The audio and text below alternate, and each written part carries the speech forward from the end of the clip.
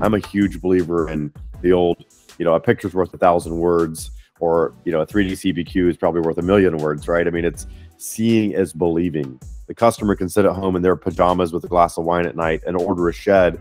Meanwhile, that's manipulating the back end all the way through. Not only is it complying with all the rules so we can have smooth operations, but it's also, you know, offering them the full self-service experience checkout.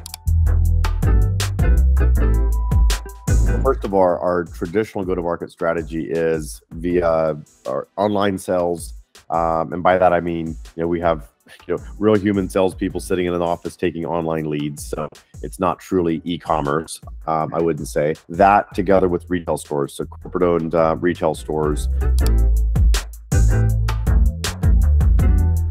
configurator knows literally the, the 2000 rules that exist and there's just all these rules that come together that now the salesperson unless they're just curious and want to know why the rule exists they don't need to know the rule in order for the business to operate. Um, and instead we can really focus on the soft sales sales skills which is really where the the 10x difference maker is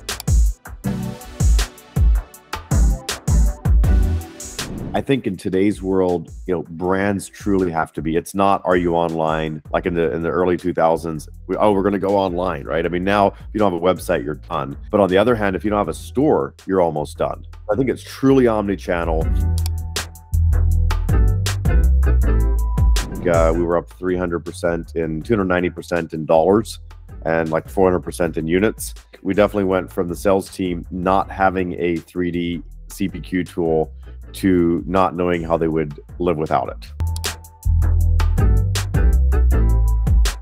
Uh, there may be one competitor in our industry. There's not another uh, provider or another company, though, that has a fully baked 3D CPQ from front to back. That is unique in the industry. I believe we are we are best in class and first first in space.